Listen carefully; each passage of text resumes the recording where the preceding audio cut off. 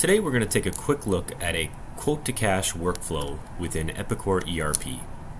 This is one of the most critical business flows for any manufacturing company, and having an application like Epicor where everything from quoting, sales order processing, production planning, scheduling, manufacturing, data collection, shipping, invoicing, and finally receiving payment, having that all embedded within one single application can really streamline and simplify your business processes.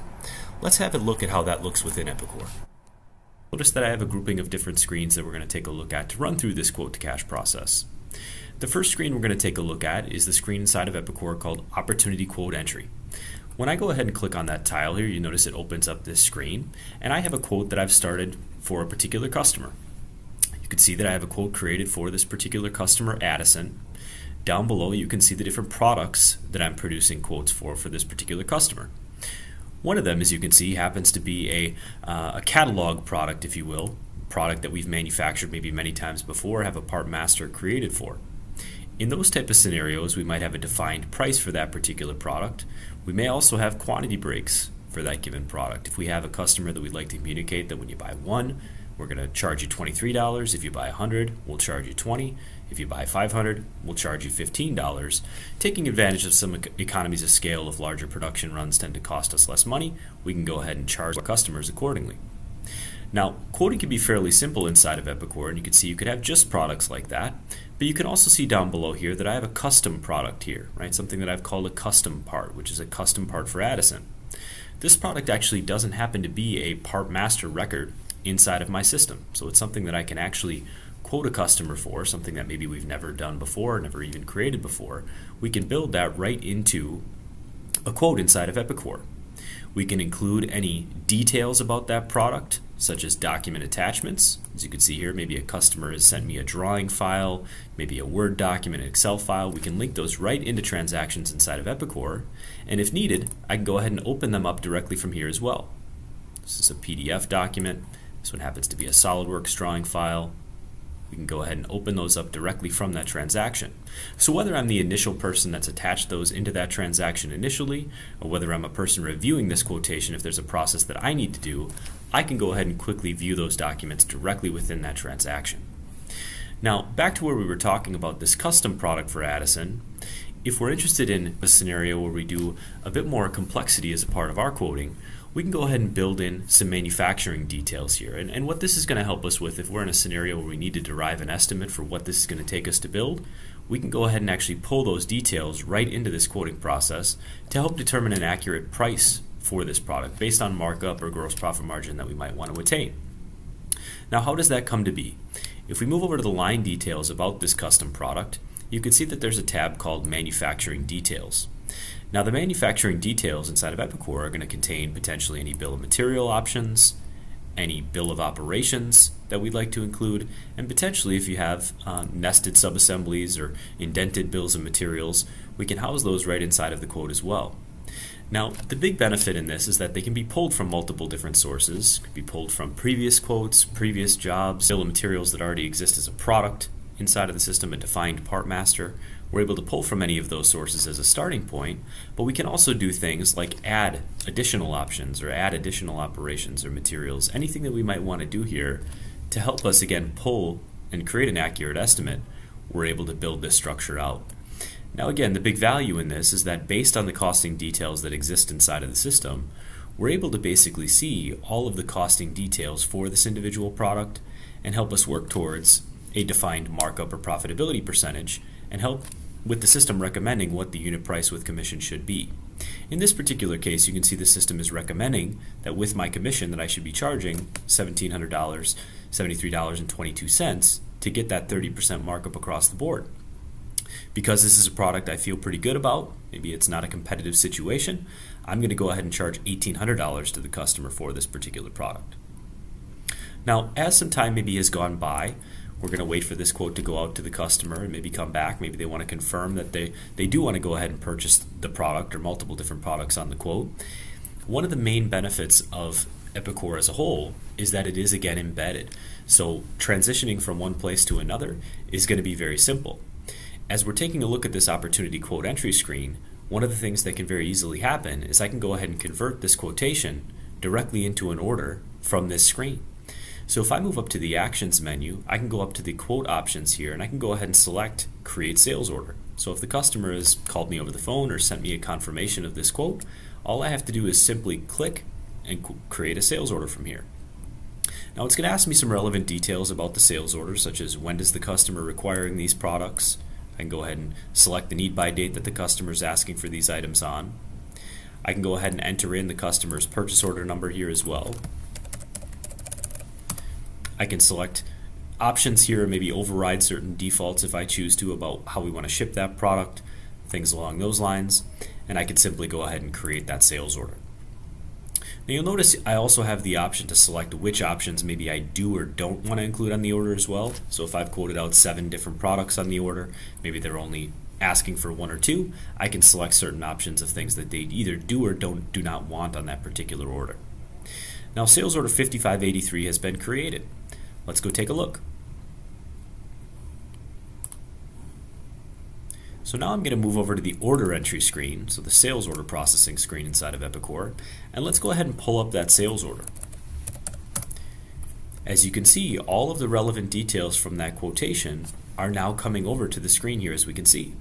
The details about the products that have been quoted, if I expand out the details off to the side, one of the main benefits as well is that all of the document attachments that have been included about that custom product also have come forward onto this sales order now. And you'll see they transition throughout the system as well.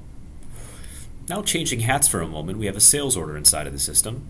This product here, and obviously this custom product here, is going to be something that's going to be made to order. So made directly to this particular sales order, not something we're going to be able to necessarily pull from inventory, right? If I go ahead and move over, there's a screen inside of Epicor, again, changing hats for a moment. I'm going to open up a screen here called the Planning Workbench. And the Planning Workbench is a screen, intuitively as it might sound, uh, where a production planner might come and be able to see all of the different things that they need to go ahead and plan, whether it be new production requirements or whether it be changes that need to occur either based on date or quantity. We're going to be able to see those, those things showing up in this particular queue. Now directly down below, the sales order we just created is now showing up down in the queue down below. So automatically, based on that order being entered into the system new demand for make to order requirements, are feeding this production planner's workbench. Now the production planner, all he has to do is go ahead and click the create job button.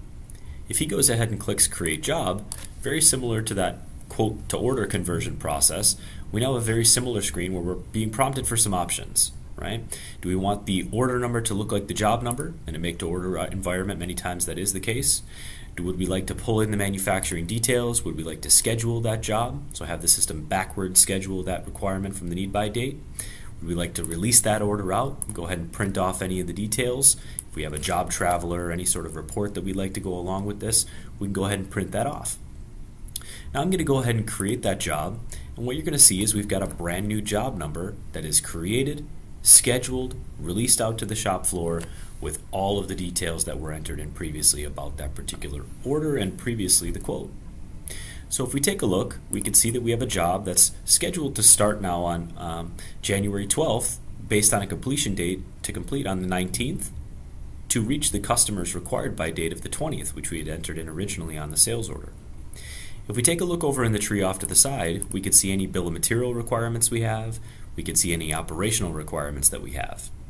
You can see that this particular one is going to run through a series of different operations, going to be sent out for subcontracting, as you can see intuitively by this little operation here that's going to apply a little fork in the road. You can also see that we have a material that's required here. Now again, based on the difference that we saw inside of the quotation when we were looking at that custom product, you can see that that could be much more detailed. If we had sub-assemblies or multiple different materials that would be required, things along those lines, we're able to see that directly there. Now, again, changing hats for a moment, we have a job that's now planned for production inside of the system. It's been released out to the shop floor, as we can see by the little details off to the side. We're going to transition for a moment now over to Epicor MES. Epicor MES is our manufacturing execution system, and this is meant for the shop floor users to be able to record their details inside of the system. For folks that are interested in job costing, real time, visibility to where we are from a production standpoint, this MES menu is really going to help out a lot in terms of allowing them to enter in details, but feeding the Epicor ERP screens with that updated detail. So, a couple of things we're going to do from here. If I'm a production employee and I've now gotten that job traveler out on the shop floor and I now want to go ahead and work on this particular job, maybe starting that first operation, I'm going to go ahead and select Start Production Activity. I'm going to go ahead and select the job that I'm working on, either scanning that in, barcode details, go ahead and select which operation I'm working on, and I'm going to go ahead and be on my way with selecting starting that operational step. So I'm told the system right now that at 1:41 p.m. I've now started working on that particular activity. Again, feeding the job costing side of the system uh, with real-time accurate details of where we are in process. Now I'm going to move over to the Material tab for a moment, and I'm going to go ahead and issue material. So I'm going to tell the system that we're now consuming some of this stainless steel sheet required on this job in the background. We're going to go ahead and issue that material to this particular work order. So you can see what's required, what's been previously issued. We're going to again just tell the system that we're taking one sheet out of inventory. Okay, and I'm going to go ahead and say OK. So we've now taken that material out of inventory, consumed it in work in process. Now that we've let this job run for a few moments, we're going to go ahead and tell the system that we're done with this particular activity. So out on the shop floor, I'm done with that particular activity. I've completed the quantity of one that I need. You can see that it's allowing me to flag that as complete as well. I can go ahead and say OK. Now, a couple of things we'll notice right out of the gate. If we go back and take a look at that job, if somebody was interested in the status of this job, or if the customer had called and said, What is the status of that job? You know, you're supposed to get it done for us by the 19th. Where is it in the process? As soon as I go ahead and refresh this screen, we're able to see that this operation's been completed. This material has also been consumed, and we're able to see that directly on the job. Now, through other views and reports, we're able to see accurate job costing information, efficiencies, are all things we're storing as a part of that process. Now, we're going to move back to MES for a moment. And after this job has been completed, we're going to be able to ship this product directly out. So I'm going to move over to, again to the MES menu, and maybe this is a different user, maybe at a different terminal, utilizing this screen a little bit differently. But as you can see, we can process customer shipments and a number of different other transactions through this particular screen as well. So again, maybe I'm out at the shipping and receiving station and I'm going to go ahead and process this customer shipment here. So I'm going to open up this particular screen and you're going to see that I'm going to be able to record all the details about this particular shipment right through this particular transaction. Now, one of the things you'll notice that is a little bit different and a big benefit of Epicor is that we're able to ship directly out of work in process. So as I talked about before for companies that are make to order and maybe do some complex things around quoting, this particular process is going to speak to that as well, where I haven't taken any products from that job, completed finished goods, and taken them into inventory so that I can ship them. I'm actually able to do that directly from work in process. So I'm going to go ahead and produce this shipment.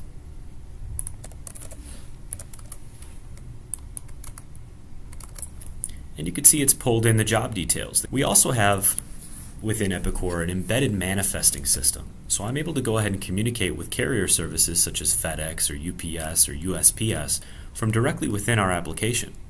So I can go ahead and communicate with a scale or enter in details of how much this product with the packaging weighs. Say that this particular one weighs 35 pounds. And now I can go ahead and tell the system that I want to close that package out. And I want to go ahead and freight that package. So I'm going directly out to FedEx, getting details about that particular package, pulling back a tracking number, of which I can track just by clicking the tracking details here if I choose to. Going out to FedEx. Also pulling in the manifesting details. So I can see that we've basically pulled in a, a shipment here which is going to incur a $22.63 passed on to the particular customer, which it's also added now onto the packing slip. So if we go ahead and tell the system that this particular package has now been shipped, that is now going to go ahead and either automatically invoice this particular shipment or queue up an invoice uh, to be created for this particular order. So now let's tr transition back to the main menu here, and we're going to go ahead and open up AR invoice entry. So now I'm potentially a person sitting in AR. No more need for a person in shipping to bring up all of the packing slips for the day to let the person know that things have been shipped out. I'm simply able to go in, create a new invoice group, and now go ahead and pull in all of the things that are ready to be invoiced. So I can come up to the actions menu, go ahead and get shipments, and now I'm able to see our shipment that we just shipped out here against PO 1000, which was produced today. I'm now able to go ahead and produce an invoice for that. We now have a brand new invoice created with all of the product details, all of the information that we want to communicate to the customer, including the manifesting charge and everything along those lines as well. So we have our $23, $22 charge on there also. Now let's move in and receive payment from our customer. So we're moving into cash receipt entry, and let's say that we've gone ahead and received a check from our customer in the amount of that $45 against that particular invoice. So we're able to record their check details, how much that particular check was for, the invoice number detail if we have it, and you can see it's pulling back the customer detail and everything like that along this particular payment. That completes the Epicor quote to cash process. As you can see, a very streamlined process, very easy to use. All the screens look exactly the same, and that is a big product of having the product be embedded. This has been a quote to cash workflow within Epicor ERP. Thank you for viewing.